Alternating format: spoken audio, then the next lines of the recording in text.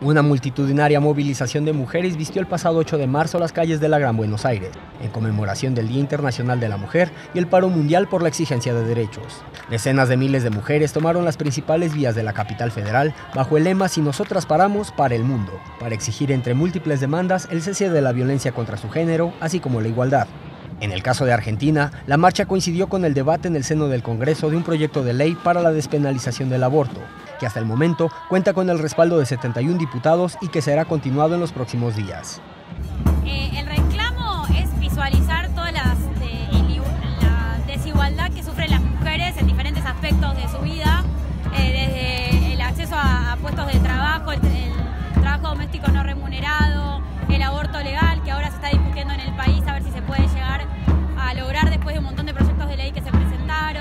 Las mujeres en Argentina marcharon al son de bombos, con pañuelos verdes colgando de sus cuellos, banderas y pancartas contentivas de mensajes con diversos reclamos.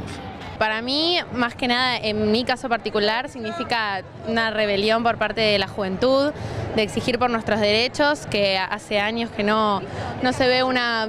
conjunción de tantas mujeres juntas pidiendo por lo mismo, respeto, igualdad. Los llamados de denuncia a los feminicidios coincidieron también con un informe publicado recientemente por el Instituto Nacional de Estadística y Censos, que reflejó más de 260 mil casos de distintos tipos de violencia de género, cuadruplicándose estos en los últimos cuatro años. Con información de la oficina en Buenos Aires, Argentina, Noticias Xinhua.